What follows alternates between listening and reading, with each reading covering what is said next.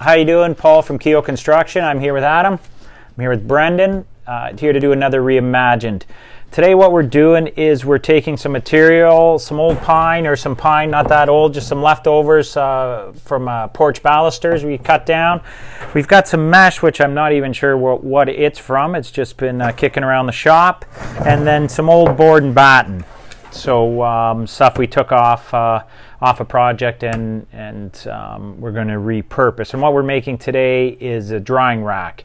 So um, what the drying rack is for, uh, uh, for me, it's for my garlic, hot peppers, uh, for herbs, um, whatever you want to dry. Anyways, let's get started.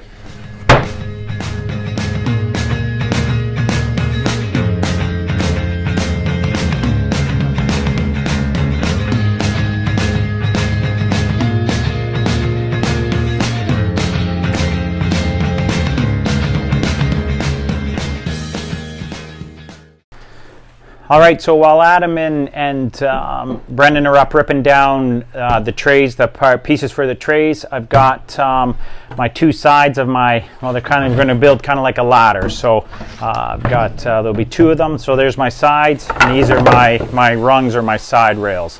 So I'm just going to assemble them while the guys are, are ripping down the other stuff.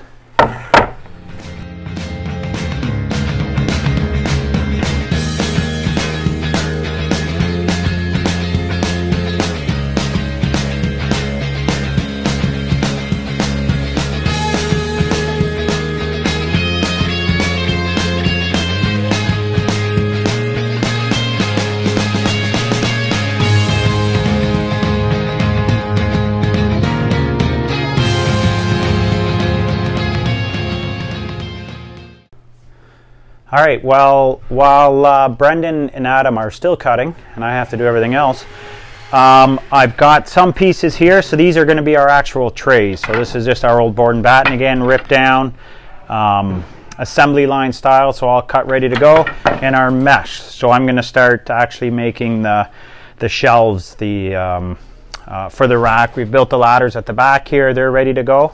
And uh, yeah, here we go.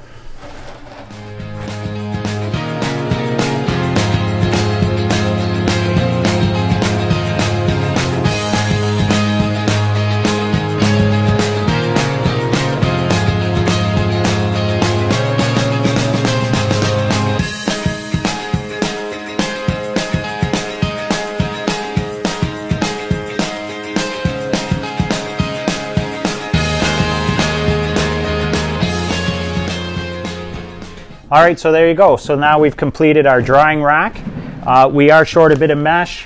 We do have all our pieces cut. We got chicken wire on a different job. So uh, this is just for drying all your herbs or whatever you want to dry. This has been reimagined.